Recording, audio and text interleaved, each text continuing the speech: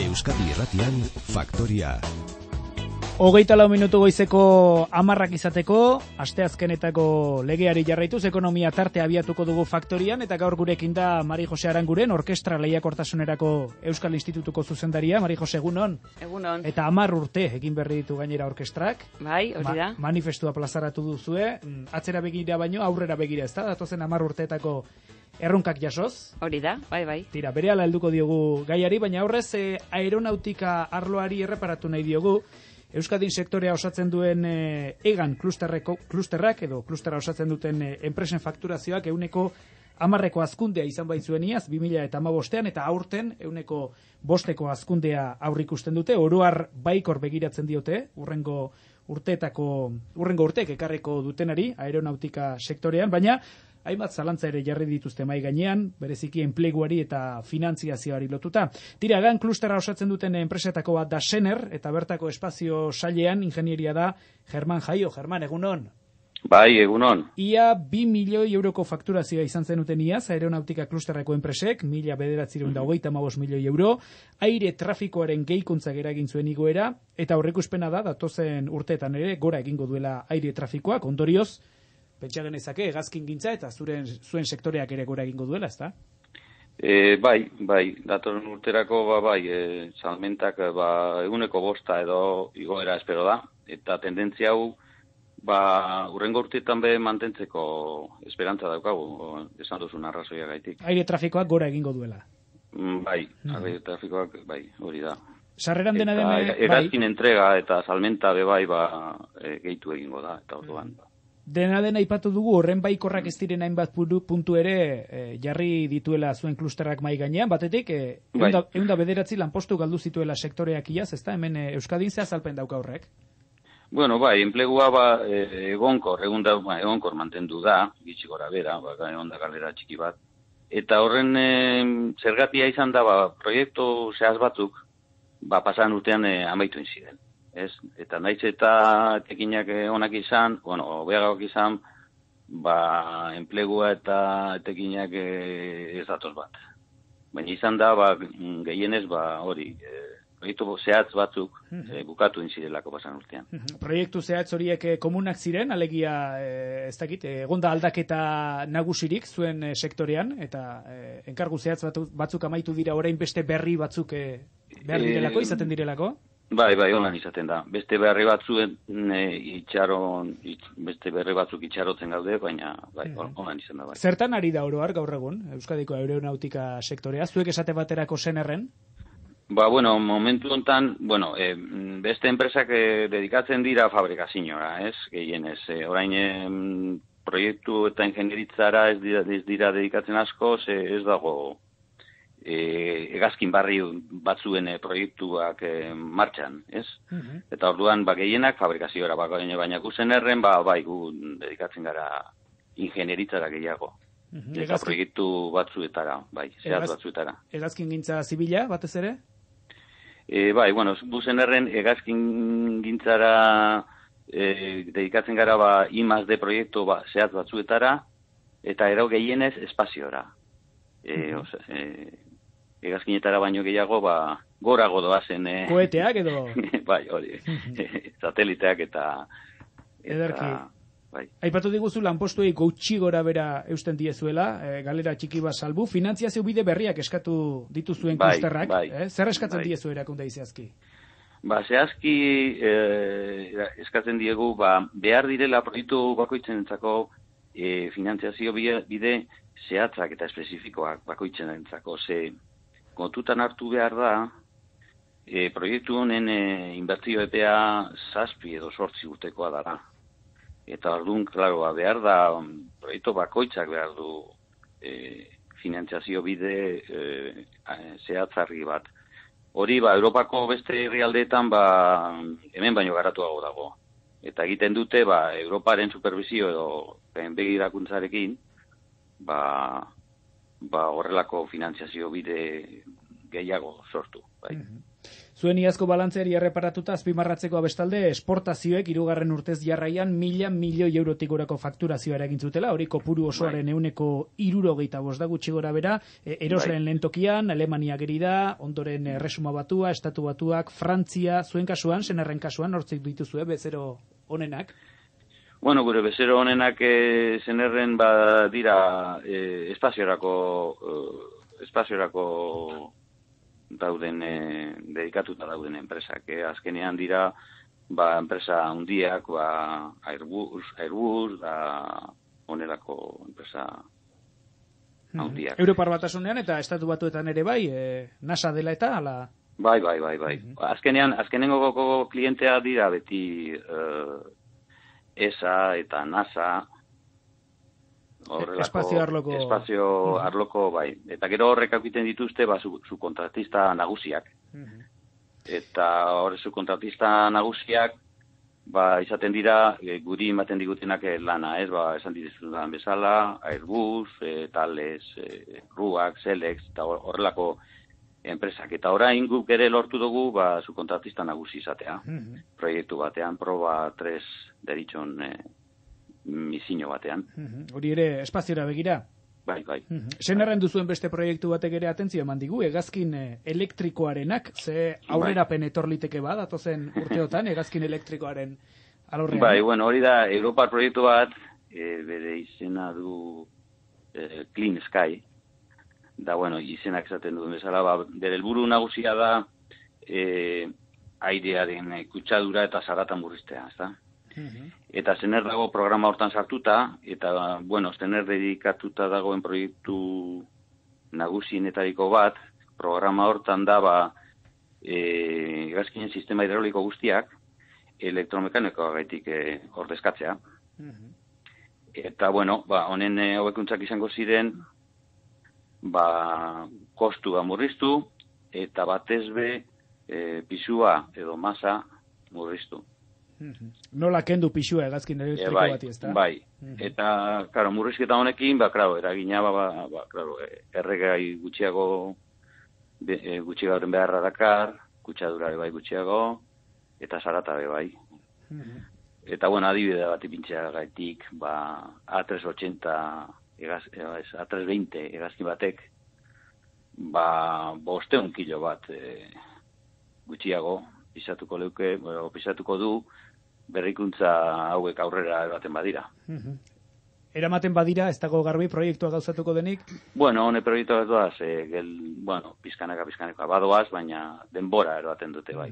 beraz ez zinateke ausartuko esaten eh, noiz ikusiko dugun eh, Ez, ez, zeruan hegazkin elektriko bat. Ez, ez daukaratorik ez. Ederki, ba, German Jaio Sener enpresako espazio saileko ingenieria, mila esker faktorian izateagatik eta aeronautikaren sektoreari buruzko berri emateagatik. Vale, ba. Ondo izan.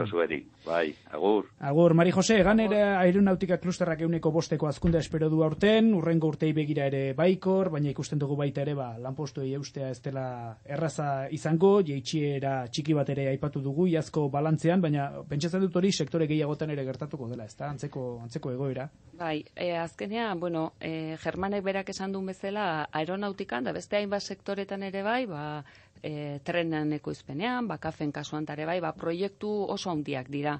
Orduan, proiektu e, hori hasten denetik bukatzen denera, ematen duen denborak, ba, markatzen du batzutan, lana daukazula momentu batzutan, eta emaitzak eukitza dituzu beste momentu batzutan, ebai, ez? Orduan, Germane berak esan duen bezala, ez da aldaketa hundirik egon enpleguan, nahiko egonkor mantendu da, horko da behatzi langileko gora beratxoiek horrelako proiektu potoloak egiten dituzten sektoretan, ba ez dira benetan enplegu, enplegu galerak, ez, edo enplegu Orduan, ba, bueno, bai, oso ziklikoak izaten dira zentzu hortan, ba, proiektu potoloa sartzen den momentuan, ba, lana e, kopuru asko handitzen delako, eta orduan, ba, daude beste momentu batzuk, ba, e, proiektu, urrengo proiektua iritsi arte, ba, hor, e, gap txiki batzuk gertatzen dira, ez? Amabi mila eta laureun langile ditu gutxi gora bera Euskal Aeronautika klusterreko enpresek, amabi mila langile pasa, horietatik lau mila daude Euskal Autonomia Erkidegoan kokatuta, beraz, horrek esan nahi du, ba, nazioartera zabaldutako ia sektore bati buruzari garela, eta ingustu nazio artera irekitzea jarri duzu erronken artean, zuek eh, orkestran, lehiakortasun eh,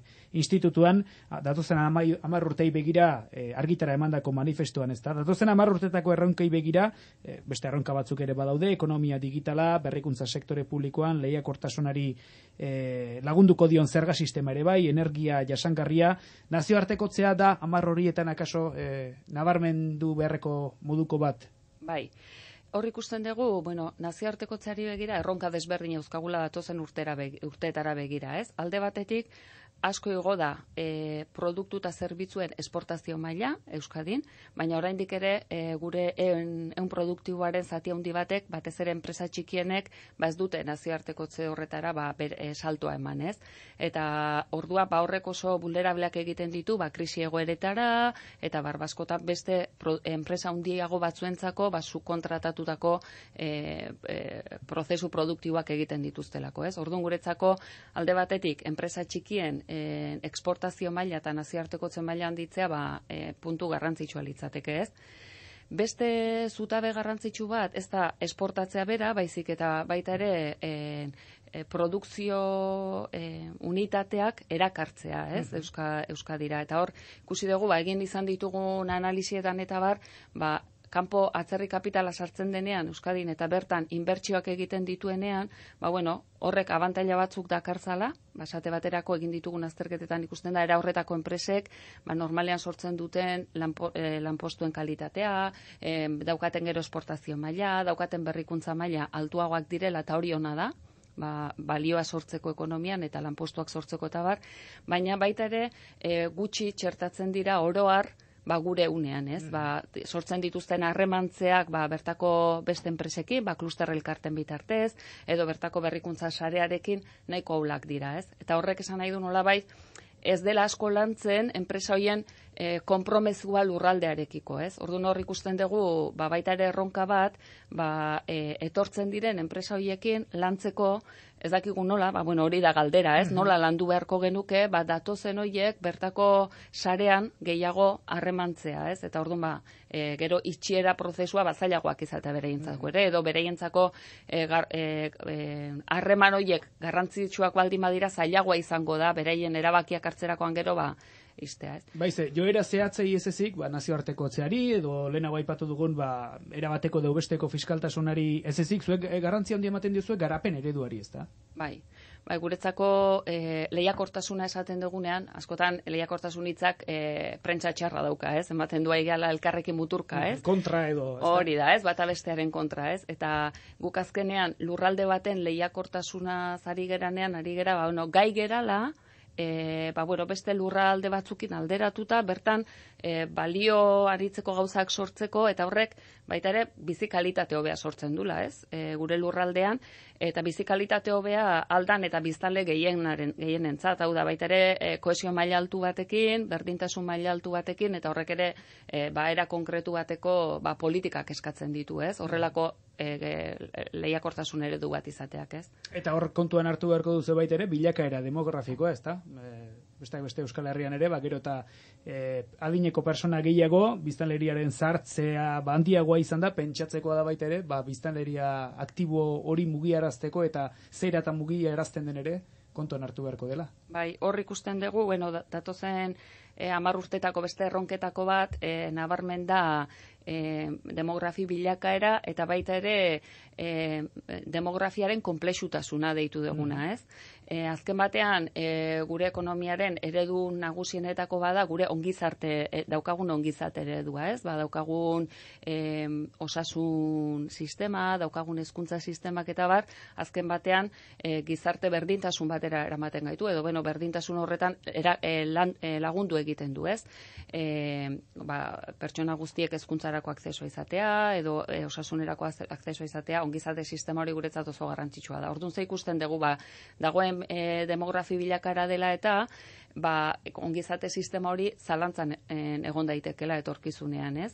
Eta orduan ondo pentsatu behar dela, ba nola mantendu dezakegun ongizate sistema hori. Ba, esate baterako ikusten dugu ba, dauden zartze prozesuengatik, ba, gastuak gero eta handiagoak izango dira, eta e, e, sarrerak ba, biztaleria aktiboen kopurua txikitzen ari denez, sarrera kopurua txikiagoa izango da. Ordun hor kontuak ez duten kajatzen, ez? Ordun jun behar da asmatzen, e, ba, eredu berriak nolabait harremantze horiek ere bai nola landuko ditugun, ez? Ba, etorkizunean ongizate sistema ba, sostengarra izateko, bai, ba, e, mekanismo fiskal desberdinekin, bai, e, egoera horrek edo joera horrek sortzen ditu negozio aukera kontutan izan da, baita ere ikusten dugu e, ikasteko aukera handia dela edo belaunaldi desberdinen arteko austura e, ba, gailen duin beharko genukela, eta espazio, esparru natural gehiago egon behar direla gazteak eta e, adineko pertsonak elkarrekin ikasteko ere bai, ba, daude hainbat eta hainbat esparru, non gazterik ez dugu ikusten.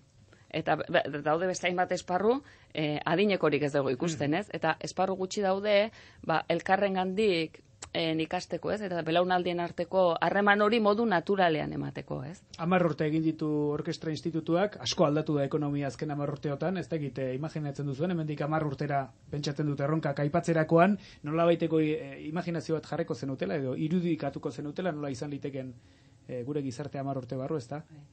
Bueno, hor daude tendentzi batzuk datozenak, ba ikusten da, ba, energia ereduk aldatzen nahi diala, sostengarritasuna gero eta garrantzi gehiago izango dula eta hori kontutan izan beharko degula, e, digitalizazio prozesu ikaragarriak emango direla eta bar, baina azkenean e, gure e, mezua da nolako Euskadi edo nolako gizarte eredu aukiko dugun, ba, gure esku dagola neurri batean ere bai. Osea, tendentziek neurri batean markatzen dute, nolako e, garapen eredua izango dugun, baina baita ere, ba, koordinazioa baldin badago aktore desberdinen artean, eta eta refleksio serio ba, ba, nolako eredua nahi dugun, eta, eta akzioa gero horrekin koherentea, ba, bueno, erabateko edo besteko e, gizarte eredua izango dugu, ez? Ba, Mari Jose Aranguren orkestra lehiakortasunerako Euskal Institutuko zuzendaria, eskarek asko gurean izateagatik. Zorionak orkestrak